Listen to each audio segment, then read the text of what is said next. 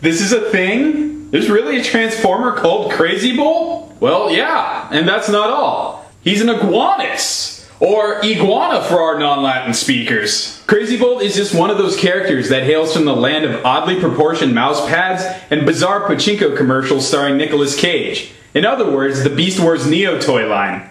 But I got this guy through more conventional means thanks to fellow YouTube reviewer Buster Brenton. So my thanks go out to Big Daddy Brentosaur for hooking me up with Crazy Bolt for cheap. But really, sir, I ask you in all rhetoricalness, who's the real Crazy Bolt here? Is it the Iguana Machine hybrid, or the man who gave him up?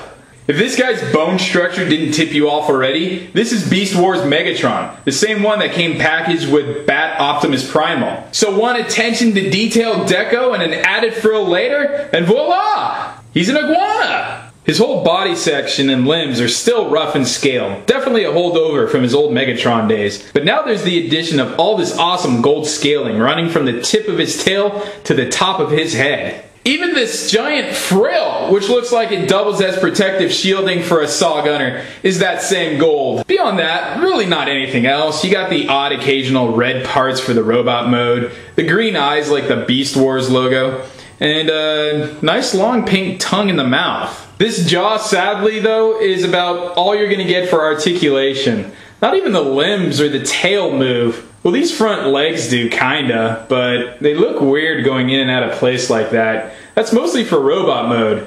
This just looks like a high-stepping iguana. And that's lackluster at best. But really, the fun starts at the transformation.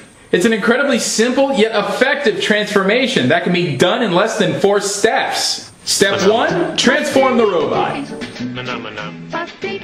Step two, turn the tail into weapon. Step three, step three, uh, step. Now this is where everything starts to come together nicely. That dark green swamp color fused with the gold scaling just looks right.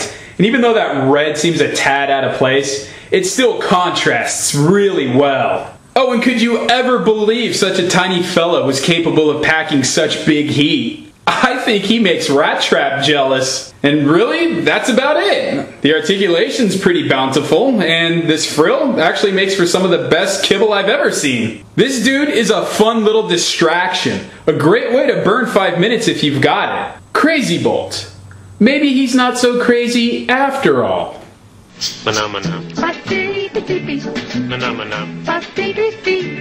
Mana mana.